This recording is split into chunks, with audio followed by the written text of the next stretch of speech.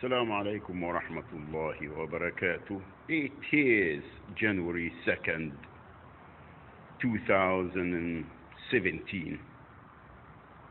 I wish I remember uh, Al uh, Hijri. But anyway, it is the day that I call 911. And I don't know why I didn't do that long time ago because it's supposed to be a national number, national emergency.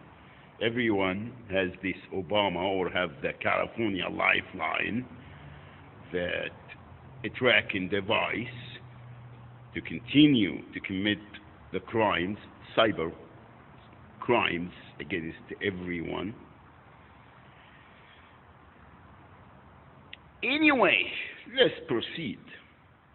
And I uh, explained to them. They know, everybody knows what I'm talking about. Okay.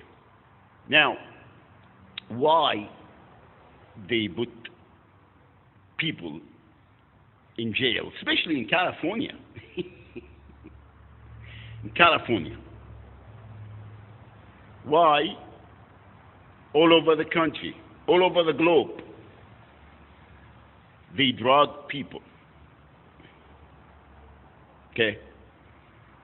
Pharmaceutical drugs, afune, heroin, methamphetamine, all kinds, chemicals and natural uh, now marijuana, hashish, everything, everywhere. And people don't, don't understand and don't realize and don't remember. They don't remember. Okay? Now, when you go to, when they invite anyone to spend some times with the homies, especially in the state of California, okay, state of California. The Zionist state, how is that? But all of them are Zionist anyway, controlled by the international criminal terrorist. I won't say organization because organization is still, uh, you know, still has, uh, you know, organized scumbags, scum of the earth. الصهيونية العالمية شياطين الجن والإنس how's that القردة والخنازير والخنازير anyway so they poison they put this uh, syphilis or whatever it is I, I, I forgot the medical term to it which I have the colon uh, uh, uh, uh, the, the transition colon uh, bacteria or fungus or or or, or, or uh, germ or whatever. All right, I have felt that way since I've been at the Theo Lacy and the main jails in Orange County. Now, when you go to stay in any shelter or anything, or military, anything that the government has the control, the state and the federal, uh, that's what they do. They just uh, uh, they just drug you or infect you so you can be an account. Now, not only that, not limited to that, but when you go to the you know the, your doctor, they give you, uh, like I have, uh, they said uh, steroids. You have to take me, Dr. Dr. Duman, Dr. Duman, your Belinda.